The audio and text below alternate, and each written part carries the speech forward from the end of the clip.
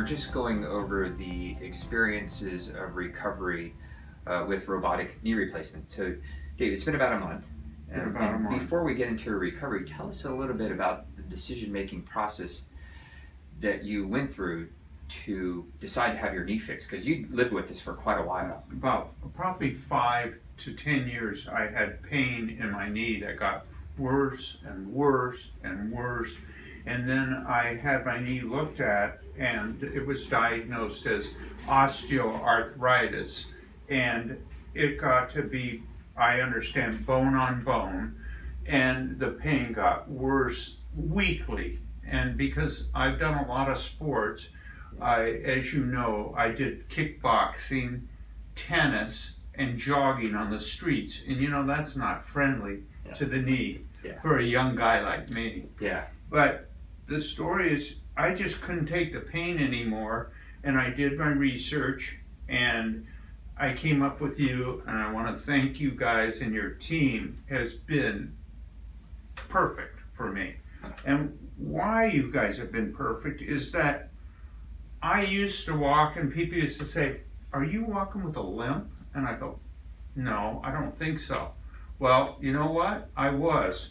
And I don't know how you guys did it. I don't know technically what you did, but I don't have a limp anymore. I'm walking. I have no pain. I do in the soft tissue because it's only been a month.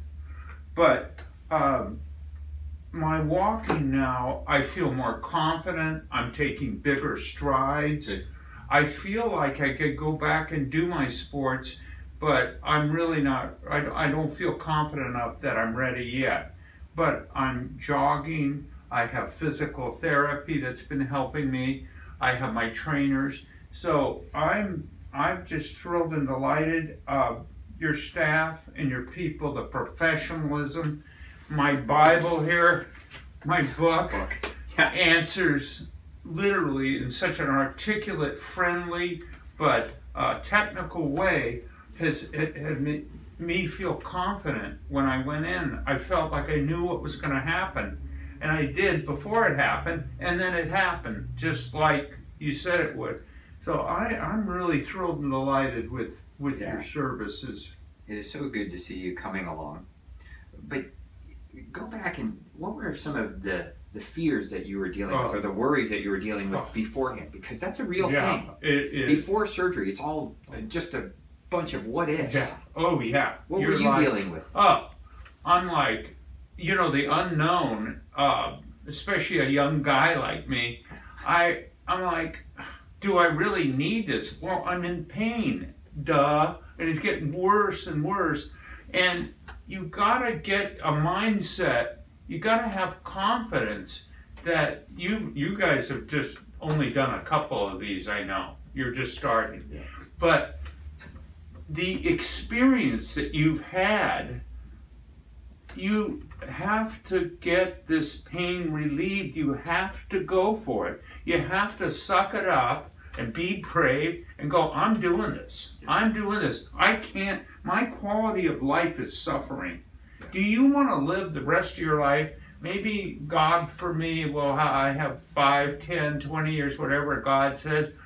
But when I have what I have, if I have another year or two, I wanted a quality year. I want to travel, which takes movement, walking, and I'm walking better than I've walked in years and no pain. So if you are nervous about doing it, call me. I'll tell you about it.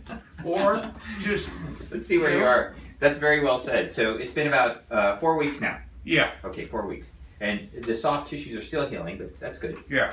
You Go ahead and bend your knee. Yeah, that's good. Good. Yeah, and your knee will continue to improve. What tricks or um, what were some of the things that you found to be helpful to get you through this part of recovery, which is often the hardest part of knee replacement? Well, again, I read my Bible, and then also you guys have been kind enough to give me physical therapy help where you've given me name referrals, you've given me a prescription, I go see them, they help me move it in directions to help me, and it's healing.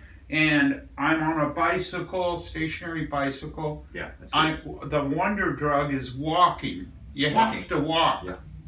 You agree? Well, yeah, so the walking is not only gentle on the soft tissues, but it's so much about neuromuscular coordination, or the or the lay term is teaching the brain and the body how to work together with purposeful movement. And and you only do that, you gotta earn that. And you just do it by doing lots of reps. You just gotta walk and then those pathways are reestablished. Yeah. And then the knee feels starts to feel like a part of you. Yeah, yeah, exactly.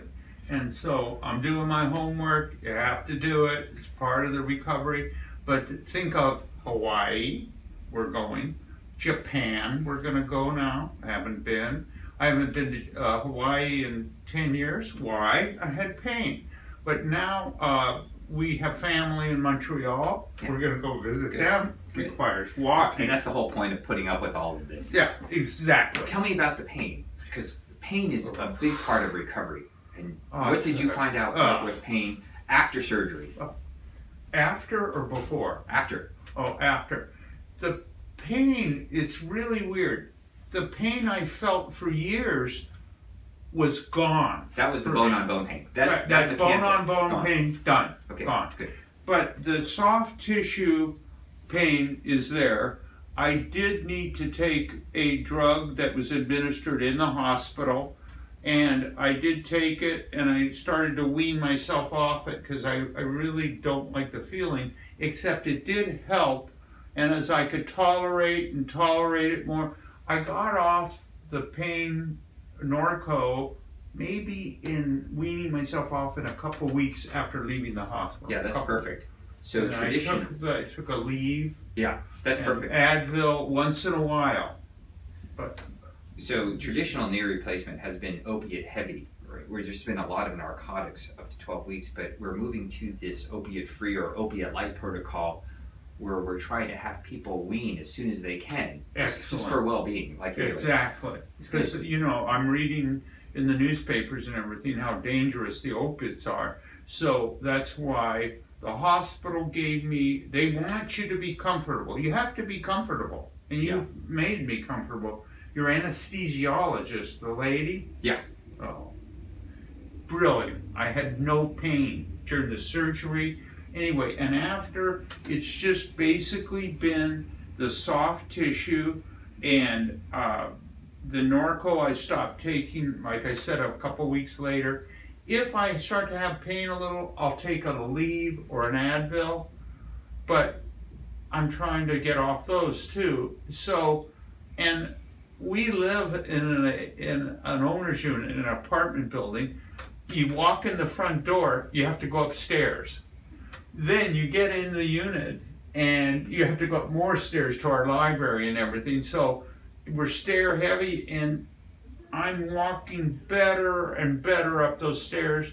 The pain is less and less daily. Eh. The recovery.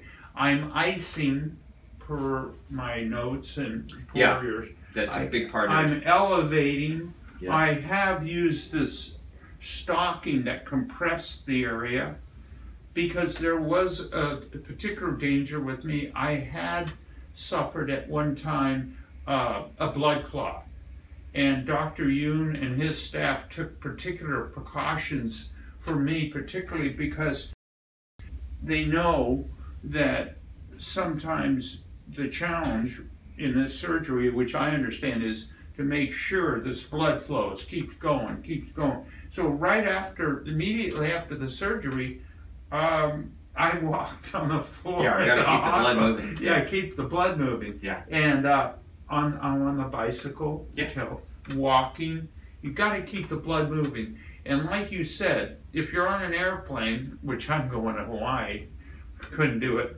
before. I mean, it could do it, but quality of being in Hawaii, you have to walk around. You have to get in the beach. You have to have a mai tai. You have to go up to the bar to get a mai tai. You have to walk up there. Yeah. So um, the deal is, um, I have not experienced just just I know right now that I'm my quality of my vacations, my life has been improved greatly. I'm just one of the best decisions I made. And was I afraid? Yes. Everybody's afraid to have surgery. But um, the experience your team brought to the party and what you've done for me, you know, thrilled and delighted Well, so we're only one month into it. in one month. So we're just at the beginning. You got a couple more months to go for the rest of the soft tissue healing to mature. But yeah, we're so happy for you. yeah. And thanks for doing this. This is how you pay Oh. it forward. Yeah, and if anyone would like to call me, Yeah. you guys have my number. Or if anybody's afraid, I mean, I was too. I'll just tell you, Yeah. it's the mindset. Just think positively. You're in great hands with his staff.